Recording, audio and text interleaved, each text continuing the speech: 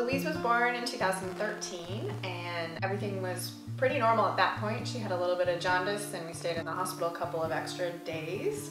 Once, you know, we got her home, things seemed okay. She was about six weeks old.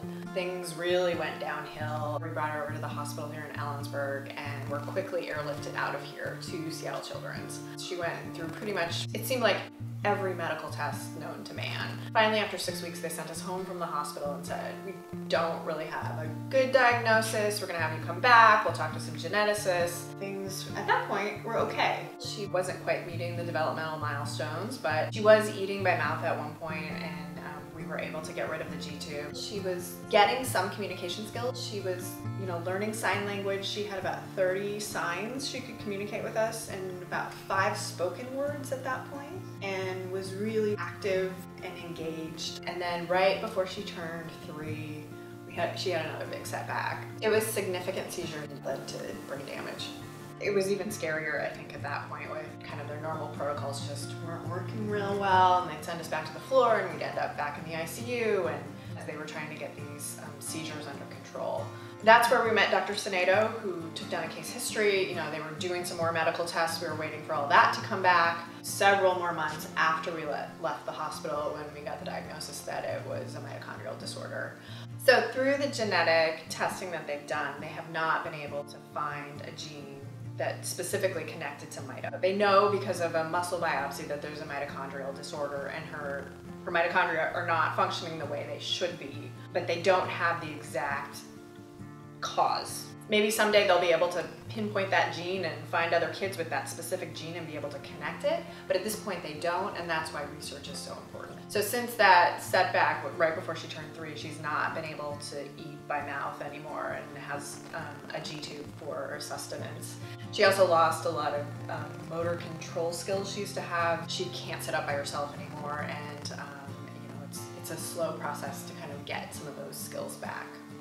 She sleeps uh, uh, 12 to 14 hours a night, plus a three to four hour nap during the day. So, she, and she needs and wants all that sleep. Before we found out about the guild, it was we were very much out there by ourselves because we had no diagnosis, um, and you know there was nothing we could, you know, no one we could really talk to. So that's been really really nice is to have kind of more support in terms of other families who've gone through this. She goes to the Ellensburg School District Developmental Preschool, so it's for kids with some special needs. She goes for about two hours every morning. She takes the school bus and she loves getting her wheelchair up on the school bus and um, going up on the ramp. I will say school has been a great thing for Louise because it allows her to engage with her peers. She has someone that is always in her face constantly and presenting uh, opportunities for her to figure out what's going on in her world.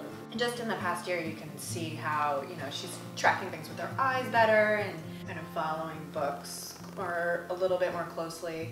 And I think we're happy for any progress, you know, just like any little things. And we don't always see it because we're with her every day, but you know, people occasionally will be like, oh yeah, she's doing this and wasn't doing that six months ago.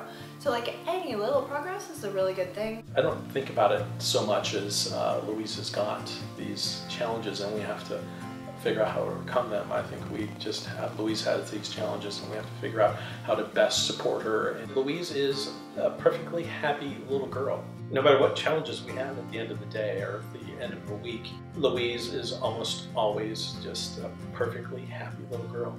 So we can take her uh, mitochondrial disease, we can take her brain damage, we can take all these things and say, yeah, these are challenges that have to be overcome. But with her, just her attitude, when you, you see her and how happy she is, generally it's like, well, you know, how can how can't you support a sweet little girl like this?